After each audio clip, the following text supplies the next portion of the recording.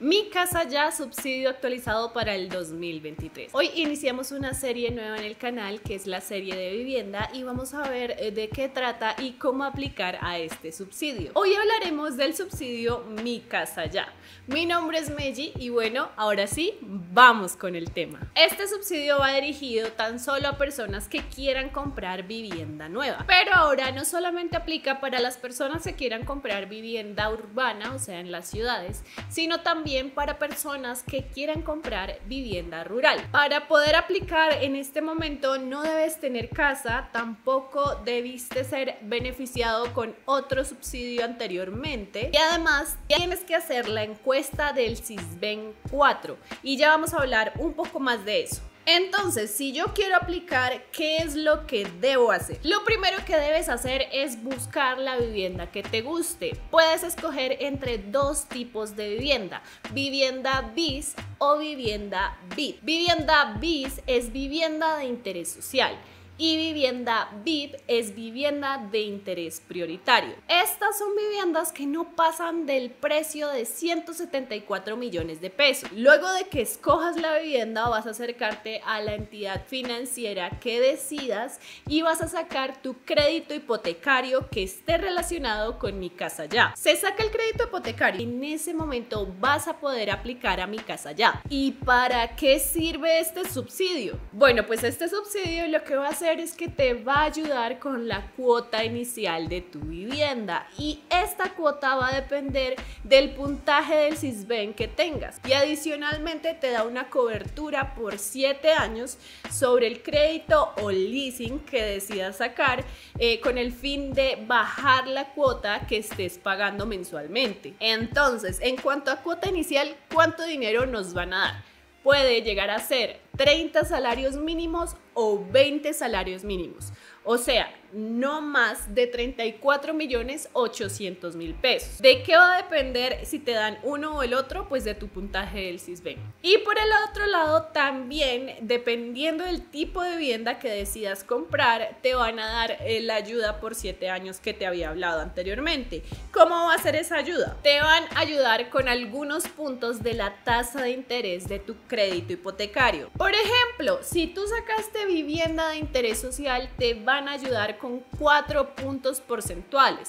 Mientras que si sacaste vivienda de interés prioritario, te van a ayudar con 5 puntos porcentuales. Entonces, por ejemplo, si yo estoy pagando un interés de 45% anual, así lo entiendo yo, entonces te van a descontar 5% de eso. Entonces vas a terminar pagando 40% de interés anual. Y esto por los primeros 7 años. Ahora, ¿cómo hago yo para acceder al subsidio mucho más fácilmente. Pues bueno, estos subsidios están dirigidos a personas con características de vulnerabilidad y por eso el sistema para quedar elegido se divide en características puntuales. Cada una de estas características te va a dar algunos puntos. Entre más puntos acumules, pues más posibilidades tienes de ser aprobado. Este sistema va de 0 a 100 puntos en total y beneficia mucho más fácilmente a personas que viven en zonas rurales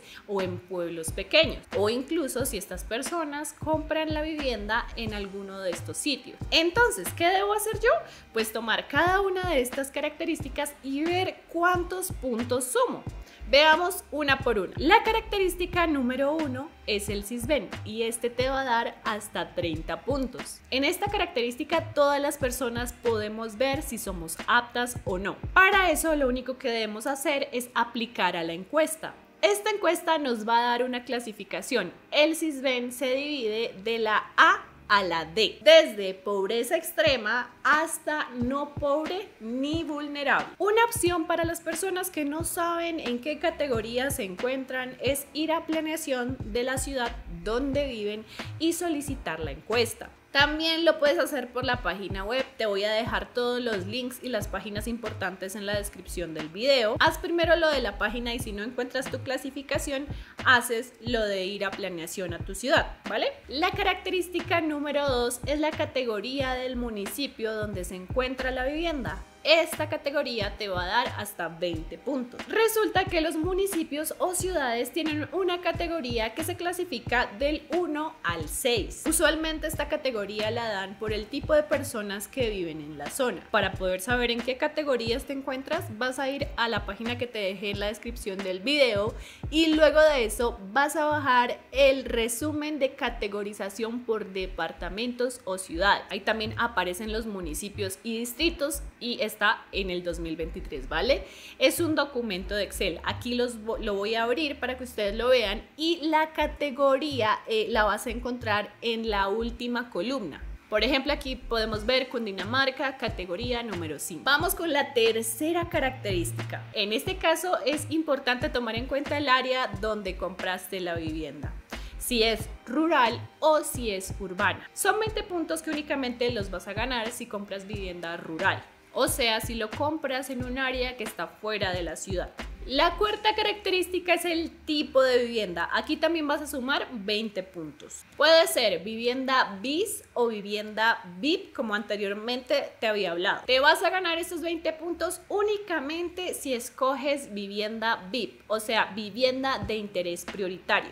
Recuerda que el precio máximo para vivienda VIP es 104 millones 400 mil pesos. Eso para el 2023. La quinta característica no la vamos a pronunciar para que YouTube no nos corrija. La voy a dejar por acá. También te va a sumar 5 puntos. Y la última característica que se tiene que tener en cuenta para este puntaje es si perteneces a algún criterio diferencial de los que van a aparecer en la pantalla puedes parar el video y leer, ahí te los dejo y este también te va a sumar 5 puntos. Entonces, la idea es sumar buen puntaje para saber si yo soy un prototipo para postularme o no. Tú mismo puedes responder esas preguntas y si tienes un buen puntaje, pues de una te postulas. ¿Cuándo te vas a poder postular? Desde abril del 2023. Ahora, el hecho de que tú te postules no quiere decir que de una ya tienes el subsidio de vivienda. Tienes que cumplir con todos los requisitos y el requisito más importante es la encuesta del CISBEN. Ya no serán priorizados las personas que agilicen todos los papeles, sino las personas que cumplan todos los puntos. ¿Y qué pasa si yo no entro dentro de la clasificación del CISBEN que me están pidiendo? pues no puedo aplicar a este subsidio. Entonces, ¿qué opción me queda? Ver si puedo aplicar a caja de compensación. Por otro lado, si realmente sí aplico para este subsidio, además de eso, también podría sumar un segundo subsidio como el de la caja de compensación.